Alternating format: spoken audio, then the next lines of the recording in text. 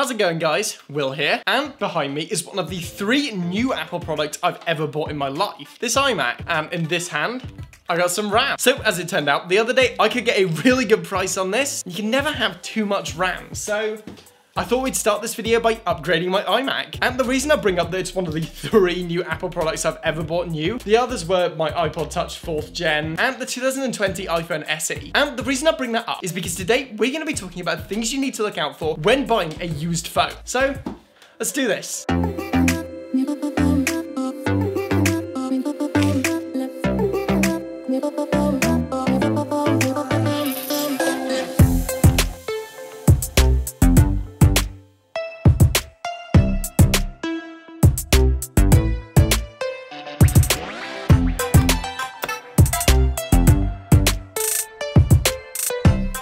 So the first tip I have for you is pretty obvious. Be sure to, whether you're buying it online or in a shop, check the condition of the device. In store, this is generally a little bit easier because you get to see it up close. For example, when I bought my Nintendo Switch, there were two for the same price, so I asked if I could have a look at both. I held them under the light, looked for scratches, things like that. One was better condition than the other, so I bought that. And it's the same with phones. It's important to check the physical condition. Now, online, typically this can be a little bit harder, simply because of how people sell phones.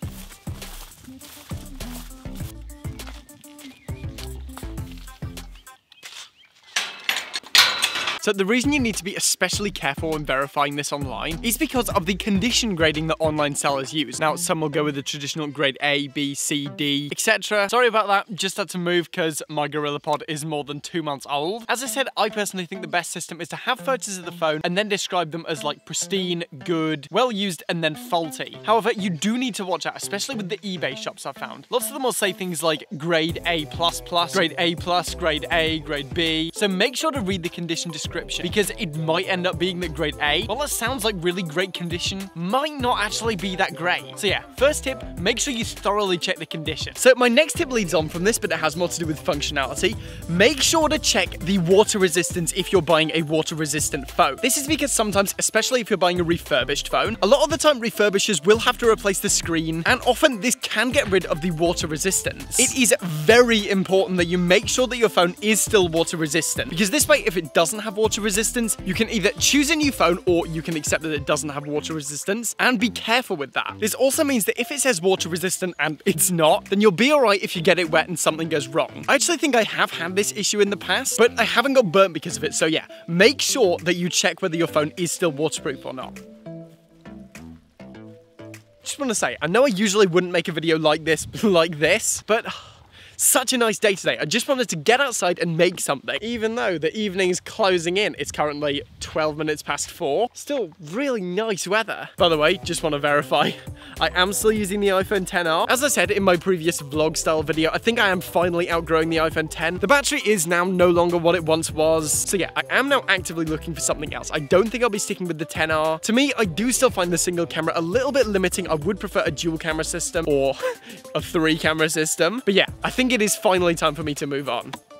Next, we're going to be talking about another really important factor when choosing a refurbished phone. Make sure to check the battery condition. Sellers will list this usually in a battery percentage. It'll usually read something like battery health 95% or something similar. I've generally found buying 95% or higher will pretty much lead to a flawless experience. I wouldn't recommend going below, I'd say like, I'd say like 89%. I think that's a good point to stop. That is, of course, unless you want to take the time to refurbish it yourself and like replace the battery. But yeah, if you just want a phone that works, I'd probably not actually recommend going going below 90%. Once you start going into those lower battery percentages, your battery won't last as long, and occasionally if it's really low, then you may have a couple of issues. I remember I once had a phone with really bad battery issues. It kept shutting off at like 50%. It would go down to 50%, then all of a sudden it would say it was flat. I'd turn it on half an hour later, and it was at like 45%. So yeah, if you want to avoid frequently plugging in your phone, make sure you choose a phone with good battery health. Oh, and by the way, I know I was talking about the GorillaPod earlier. I'm just gonna technically it is working. Let's uh, find somewhere else. Just like that, just like that.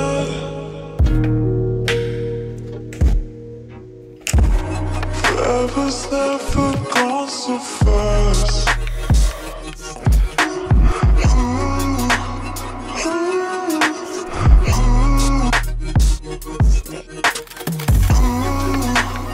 I wish I could film with this field as a background more often. It's just There's nowhere to put the camera unless I bring like a full tripod, which is certainly not convenient, especially as like this is a road. Can't just leave a tripod in the middle of the road. Weather's starting to look kind of choppy. I might have to head home soon. I really don't fancy getting rained on today.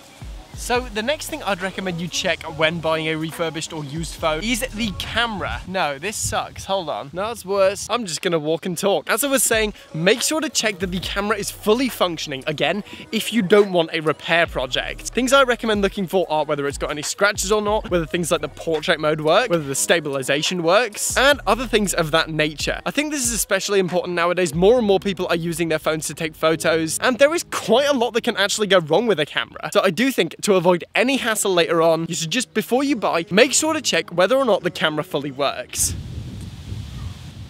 Just gonna wait for that to pass so it doesn't completely ruin my audio. All right, so the final definitive thing I'd recommend verifying is that the face slash touch ID slash whatever unlock system that phone uses, make sure that that is fully working. Because sometimes I know, especially with the older iPhones, a lot of the time when people would go to replace the screen, the fingerprint sensor would actually stop working. And so especially on eBay, a lot of the cheaper listings don't actually have a working touch ID. So make sure if you want a device with touch slash face ID, make sure that you verify this before you buy it. I personally think this is a pretty huge issue because remember, this doesn't just affect things like unlocking, but it can also affect things like iCloud passwords and of course the Apple slash Google wallet. Also, to my knowledge, while it is pretty easy to have like a battery replaced or just to like replace the screen if it's slightly scratched, fixing either the Face ID or the camera are both significantly harder to do. So if you go into this intending to like buy a repair project, make sure that you know what you're doing. All right, guys, so I know this has been a quick one. And of course, there are other considerations you might want to make, such as accessories or warranty. There are other things you can choose to look for. But I find that if you get those five things down, then you will usually get a great experience when buying a refurbished phone. All right, guys, so that's it for today. As always, thank you for watching. Remember to like the video if you want to see more content like this and smash that subscribe button. I'm done for now, and I will see you guys in the next one.